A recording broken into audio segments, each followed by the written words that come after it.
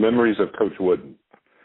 Well, he was uh, he was a uh, you know of course great great basketball coach. It, it was ironically the year I played for him was the worst season he ever had. Uh, he was kind of in transition before he got the Goodrich and those guys came right after I did. He was like 14 and 12 or something. It wasn't a losing season, but we we we didn't. Uh, we, you know, Cal was the big team. Uh, won the NCAA two years that I was there at school, and then after I left, boy, he he got all those good players. So. Uh, anyway, he was so organized, and uh, he he ran a practice. You you ran for an hour and a half, boy. You kept moving, and uh, it kept you in shape. And uh, he he he was uh, just uh, a great guy to work for. You know, he he never cussed, and he he'd get upset, but you never heard him, you know, say a, a bad word.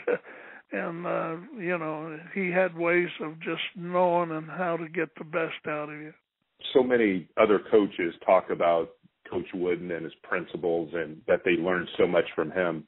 Were George Allen and, and John Wooden alike in any way? Well, uh,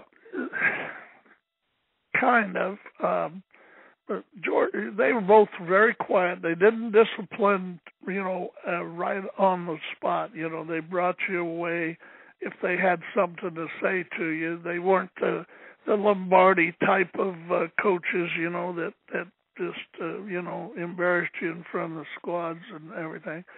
Uh, they they were similar in that that respect, uh, you know, but uh, uh, you know between basketball and football, it, it's a different sport, but. uh you know, but they both were dedicated, and you know, uh, the thing about uh, George Allen, he he ate, slept, football. I mean, he just uh, every waking moment. He, he if we were at a dinner or a banquet, you know, he was always coming over me. He says, you know, we uh, we we got to win this game. You know, this year we got to have a, a, a good practice. You know, he was always talking to me about football. The coach would never do that, uh, but uh, that was George.